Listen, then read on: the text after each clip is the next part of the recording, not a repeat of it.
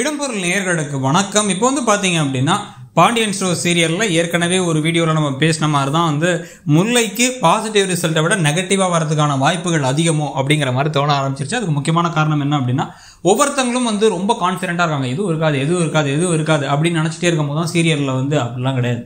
நாங்கள் இருக்குது அப்படிங்கிற மாதிரி ஒரு விஷயத்தை கொண்டு வருவாங்க. அப்படி கொண்டு வந்ததுக்கு பிறகு ஒருவேளை ஏதாவது ஒரு சின்ன ப்ராப்ளம் இருக்குது இந்த ப்ராப்ளத்தை அட்ரஸ் பண்ணுறதுக்குனால அவங்களுக்கான ட்ரீட்மெண்ட் எடுக்கணும் அப்படிங்கிற மாதிரி சொன்னாங்கன்னா ஏற்கனவே குழம்பி இருக்க முள்ள இன்னும் குழம்ப ஆரம்பிச்சிருவாங்க. குழம்ப ஆரம்பிச்சதை விட இதை ஏன் வீட்டில் எல்லாட்டி சொல்லாமல் இருக்காங்கன்னு தெரியல. ஒவ்வொருத்தவங்க ஏதாவது குத்தி காமிக்கிற மாதிரி பேசிடுவாங்களோ இல்லை ஏதாவது காயப்படுத்திடுவாங்களோன்னு நினச்சி சென்சிட்டிவான விஷயம் சொல்லாமல் இருக்காங்க. ஆனால் கண்டிப்பாக ஏதாவது பிரச்சனை இருக்குன்னு தெரிஞ்சிச்சு முல்லை அழுதுட்டே வீட்டுக்கு வந்தாங்க அப்படின்னா மீனாலேருந்து வந்து எல்லாத்துக்கும் தெரிஞ்சிடும் ஐஸ்வர்யா அதை கேட்டுட்டு அமைதியாக போயிட்டாங்க. அந்த மாதிரி மீனை இருக்க மாட்டாங்க. என்னாச்சு ஏதாச்சு இதுதான் இதுக்கு என்ன பண்ணணும் தெரியுமா? அப்படி இப்படின்ட்டு அவங்க அம்மா அப்பா கிட்ட சொல்ல.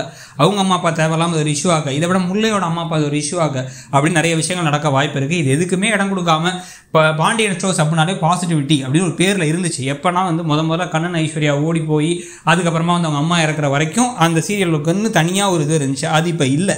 அப்படிங்கிறதுனால இப்படியும் போகிறதுக்கான வாய்ப்பு இருக்குன்னு தோணுது. ஆனால் அப்படி போகாமல் கதிர்முல்லை ஏற்கனவே நிறையா படாபாடுபட்டு ஒன்று சேர்ந்துருக்காங்க. அவங்களுக்கு ஃபர்ஸ்ட் நைட் நடக்குமா நடக்காதுன்னு சொல்லிட்டு அந்த சீரியல் ஃபார்ம்லாலே ரொம்ப நாள் ஓடிச்சு. அதை தாண்டி இப்போ அவங்க சந்தோஷமாக இருக்க தருணத்தில் அவங்க சந்தோஷமாகவே விட்டுட்டு அவங்களுக்கு ஒரு குழந்தை அப்படிங்கிற மாதிரி இருந்தால் தான் மற்றவங்களுக்குலாம் நடந்துச்சு அதே மாதிரி இவங்களுக்கு நடந்தால் தான் நல்லா இருக்கும்னு தோணுது. உங்களுக்கு என்ன தோணுதுங்கிறத கமெண்ட் செக்ஷனில் சொல்லுங்கள் தேங்க்யூ